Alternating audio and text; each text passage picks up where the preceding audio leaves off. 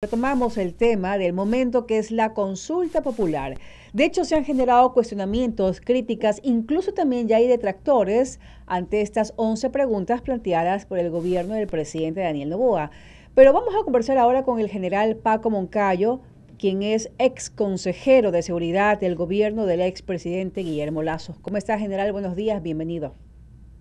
Muy buenos días, qué gusto estar con ustedes. Un saludo a la audiencia y a todos mis deseos por un feliz año 2024. De igual manera para usted, general, que sea un año de éxitos y también de mucha paz, principalmente para usted, su familia y también para todo el Ecuador.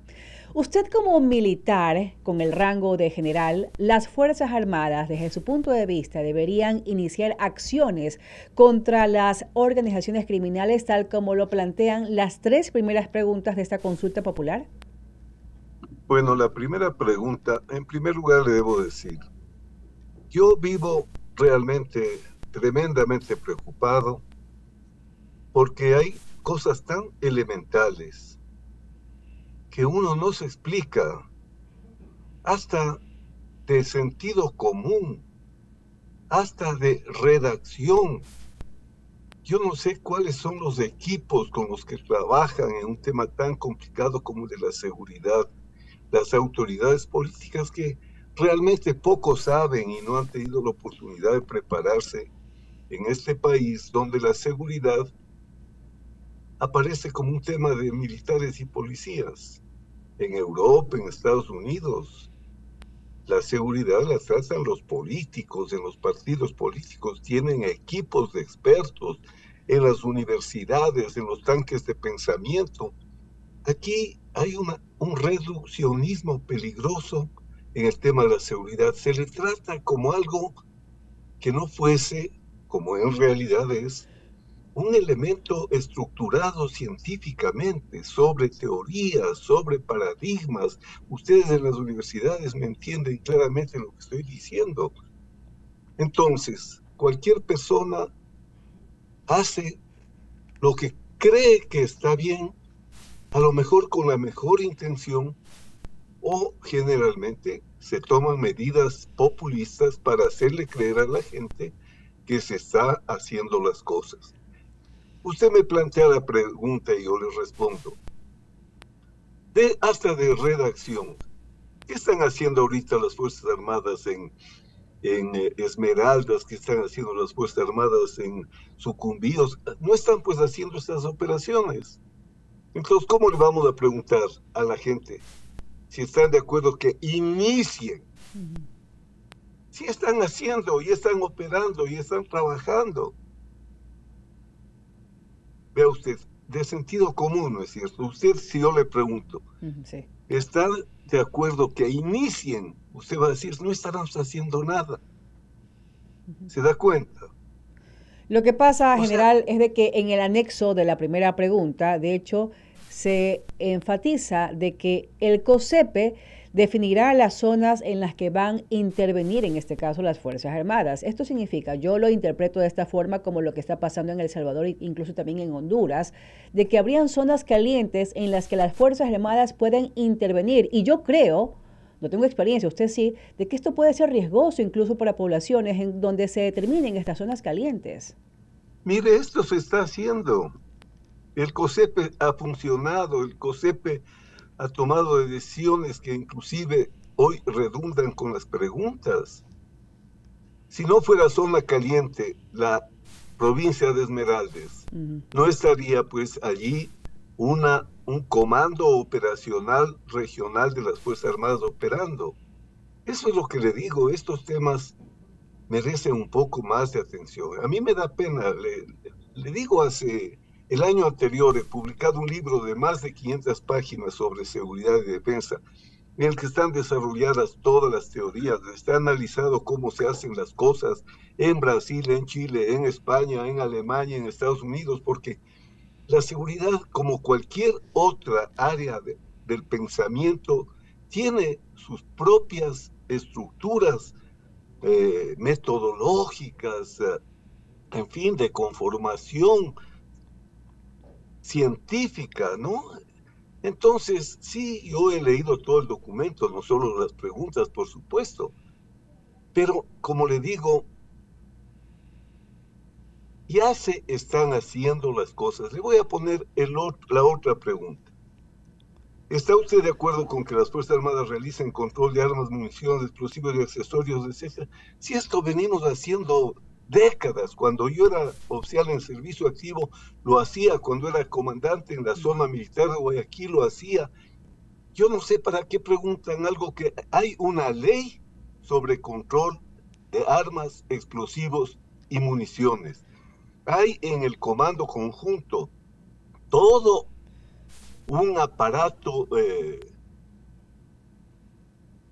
de procedimientos sobre esta materia. Hay un área completa que se llama TAMEX, que son las operaciones precisamente de control de, control de armas, municiones, explosivos, TAMEX. O sea, ¿por qué preguntamos lo que ya venimos haciendo más de 50 años. General, lo que pasa es de que en las preguntas hay muchas personas, por eso son las críticas que ya se están registrando, de que más bien se está excluyendo a la Policía Nacional precisamente ante la indefensión y ante el uso progresivo de la fuerza que también ha sido criticado en los últimos tiempos. Y que también por ese lado es, viene la tercera pregunta, en de que más bien la ciudadanía los apoye a ellos, porque lastimosamente ellos al intervenir, y aparte que no tienen el armamento que tienen obviamente estas bandas ya organizadas, ellos están en indefensión total. Entonces quizás se les está dando más interpretación o más rol en su accionar a las Fuerzas Armadas. Mire, créame, yo lo que le digo, le digo porque es un tema que domino, ¿no? He dado clases, que 30 años sobre temas de geopolítica, seguridad, sigo siendo profesor y dando clases, entonces no le, yo no estoy haciendo política, ni estoy queriendo hablar mal del presidente, ni queriendo desacreditar lo que se hace, pero sí estoy diciéndole algo como si usted le pregunta a un médico, cuáles son los síntomas de una enfermedad, el médico no le va a tomar esto como política, ni como partidos, ni como va a hacer daño a nadie, sino le va a decir las cosas técnicamente. Yo mis respuestas que le doy son respuestas absolutamente técnicas. Fundamentadas. Entonces, mire, la tercera pregunta se refiere a algo que ya está bien, está también ya legislado los policías y los militares hoy ya no van en el caso de que sean enjuiciados a recibir prisión preventiva e ir a los centros de retención donde están los criminales contra los que ellos estaban combatiendo. En la ley sobre el uso progresivo de la fuerza y en su reglamento está clarísimamente ya respondido lo que es la tercera pregunta. Yo le digo lo que sé, lo que está, y, si usted eh, lo hace revisar, se dará cuenta que todo lo que yo le estoy diciendo es porque ya está. Cuarta pregunta. Mire, en el mundo, la cuarta pregunta es populismo penal. ¿Cree usted que se deben incrementar las penas? En ninguna parte del mundo, ya aquí las penas son suficientemente altas, en ninguna parte del mundo, objetivamente, se ha logrado que incrementando las penas vaya a mejorar el nivel de seguridad. De lo que podrá hacer es llenar de cárceles, ponerles además con costos enormes porque la seguridad cuesta. No va por ese camino el mejoramiento de la seguridad en el país. Yo creo que vamos a invertir 60 millones de dólares en una consulta. Entonces, todavía estamos a tiempo para consultar las cosas que realmente son importantes. ¿Qué tiene que estar en esa, por ejemplo, el tema de casinos? General Moncayo, y desde su punto de vista, lo, la, la denuncia que hizo la fiscal hace menos de 48 horas de que se está planeando atentar contra su vida. Hace pocas horas se conoció de que habían capturado a esta persona en que podría eh, estar relacionada a este atentado que la fiscal mencionó, Fabricio Colón Pico, vinculado también a la banda de los Lobos. ¿Usted cree que esto podría responder al plan Fénix, del que también se critica de que la ciudadanía dice dónde está el famoso plan Fénix que el presidente Novoa habló incluso antes de ser presidente de la República? ¿Esto podría ser parte de este, de este plan o no?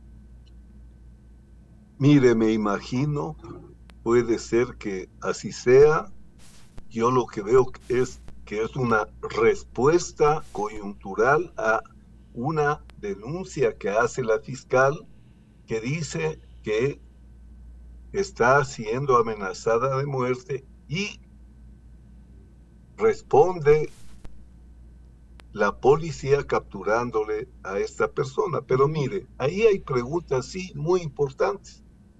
Por ejemplo, la pregunta que dice que los culpables de este tipo de delitos deben cumplir la pena completa, que no pueden haber en este tipo de delitos condiciones de semi presencia o, o, de libertad condicionada, porque jueces corruptos han logrado de esa manera y con esas normas que son pues para proteger a la gente común, ¿no? No a criminales avesados como son los narcotraficantes.